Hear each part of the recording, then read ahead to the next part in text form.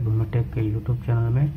दोस्तों, आज मैं एक, ये ट्रिक बता रहा हूँ जैसे आपका कोई भी फोल्डर एक पीसी में जनरेट हो जाता है, उसको डिलीट करना चाहते तो डिलीट नहीं होता है। जैसे एक मेरे सामने एक केस आया है ये देखिए, मैं आपको दिखा रहा हूँ। इसको मैं जैसे डिलीट कर रहा हूँ, ये डिलीट नहीं हो रहा है।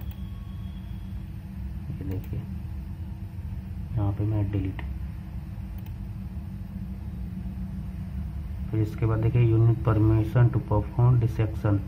Try again देखिए, नहीं हो रहा है। इसको एडिट करने के लिए एक तरीका है। सिंपल इस पर राइट क्लिक कीजिए। प्रॉपर्टीज़ में जाइए। इसके बाद यहाँ से सिक्योरिटी में जाइए। फिर एडवांस में जाइए।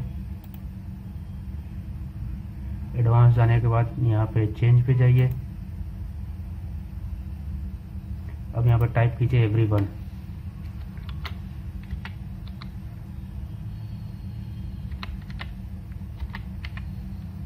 ठीक इसके बाद यहाँ पे ओके पे क्लिक कीजिए।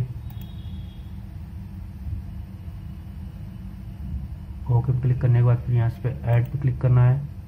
फिर यहाँ पे सेलेक्ट अ प्रिंसिपल ठीक। फिर यहाँ पे भी एवरीवन टाइप करना है।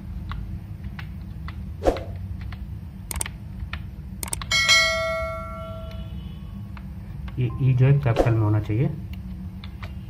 ठीक। एवरीवन फिर इसके बाद यहाँ पे ओके ठीक, यहाँ पे फुली कंट्रोल इस पर क्लिक करना है, ठीक, यहाँ ओके पे क्लिक कर देना है, ठीक ओ पे क्लिक करने के बाद फिर यहाँ से अप्लाई ओके फिर ओके फिर यहाँ पे भी ओके ठीक, अब इसको डिलीट करेंगे सिंपली डिलीट हो जाएगा, देखिए, हो गया तो इसी तरह के ट्रिप्स और ट्रिक्स देखने के लिए भूमिटेक को सब्सक्राइब करें दोस्तों थैंक्स फॉर वॉचिंग